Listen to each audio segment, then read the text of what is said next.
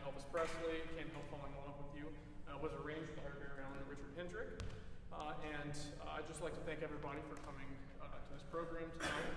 Um, and thank you for the continued support of the Eastman Community Music School and all of its teachers, faculty, and of course, um, you know, families um, associated with. Um, so the last piece, before we finish with um, the Brasso Profundos uh, half of the concert, the last piece that we're going to play is Springtime Polka, even though it's kind of summer already. So, thank you.